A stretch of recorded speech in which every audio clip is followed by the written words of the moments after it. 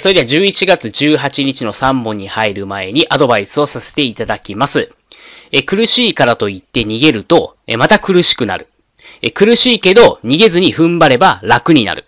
わからない問題が出てきて、やめた。また今度やる気になったらやろう。という感じでつまずいて、勉強を中断して、また1ヶ月後に勉強を始める。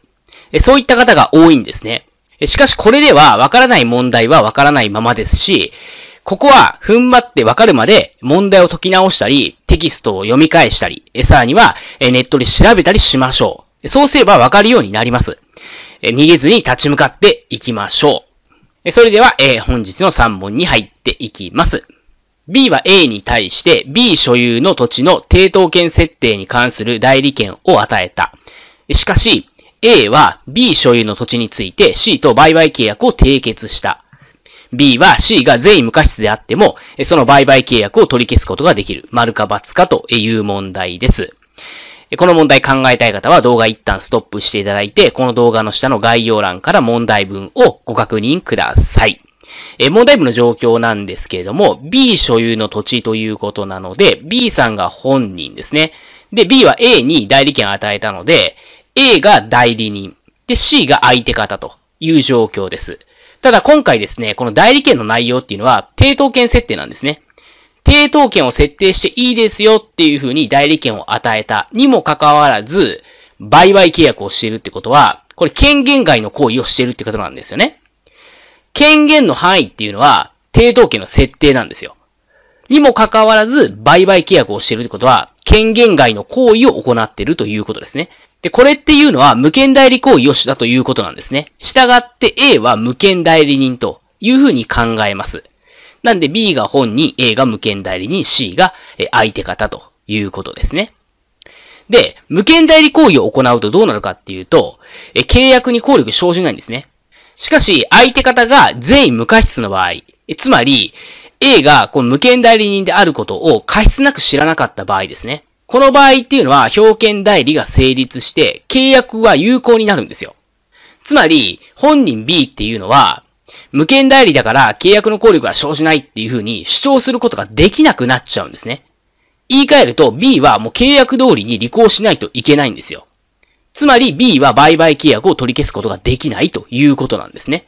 そして、表権代理がどんなものか知らない方も多いと思うんですけれども、表権代理が成立したら、無権代理の行為もえ契約有効になっちゃうんだというふうに頭に入れておけば、えイメージしやすいんじゃないのかなと思います。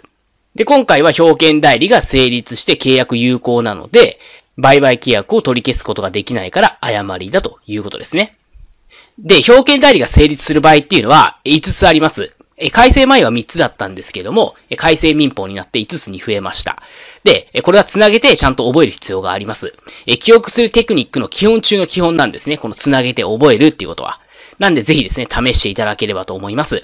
え個別指導ではえテキストや過去問集の解説だけじゃなくて、動画でもこの表現代についてまとめておりますので、受講者専用の動画にその動画を貼っておきますので、リンク貼っておきますので、そちらからご確認ください。で、問いにですね、え免許の用費です。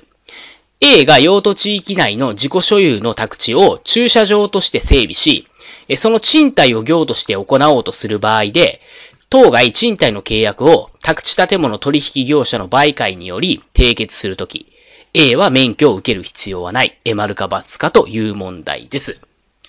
今回この A さんってどんな人かっていうのを抑えると分かりやすいです。A さんっていうのは自らオーナーなんですね。まあ、今回で言ったら貸主ですね。貸主となってえ土地を貸すわけですよね。この場合なんですけども、取引をしてないんですよ。つまり、宅建業の免許っていらないんですね。従って A は免許不要なんです。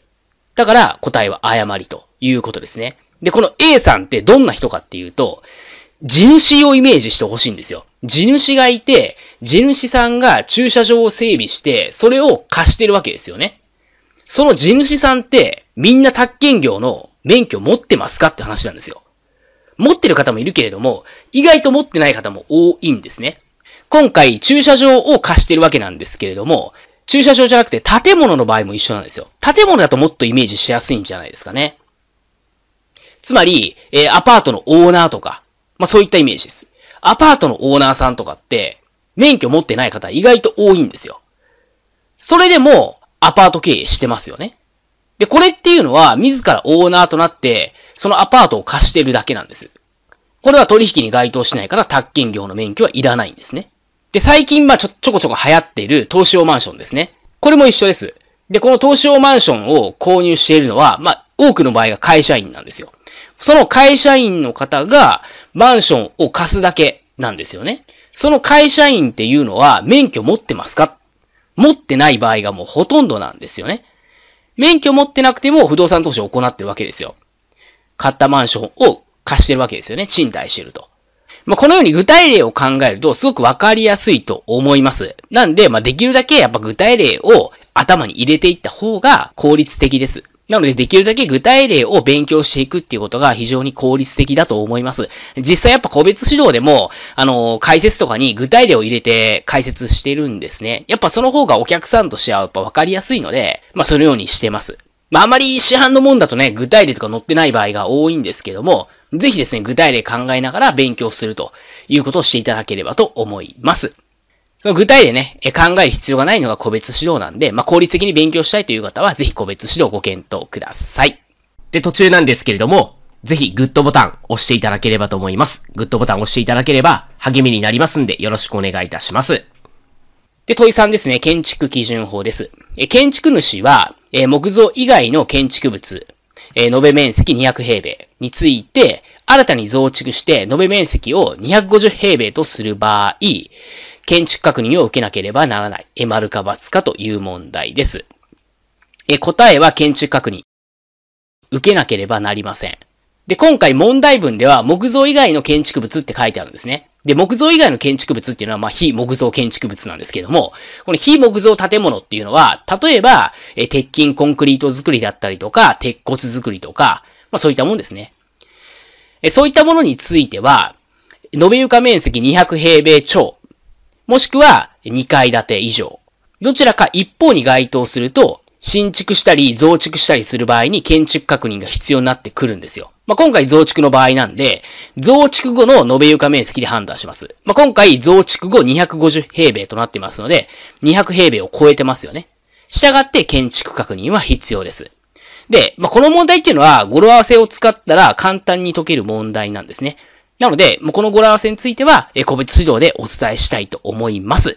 個別指導については、この動画の下の概要欄に URL を貼っておきますので、えぜひですね、一発合格したいという方は、そちらの方ご確認いただければと思います。今からであれば全然一発合格、え十分可能なんで、全く法律知識なかったとしても全然問題ございません。卓形レベルであれば一回で合格できる資格なんで、え一回で合格したいという方は、ぜひ個別指導ご検討ください。え今日も最後まで動画をご覧いただきましてありがとうございました。レトスの小野でした。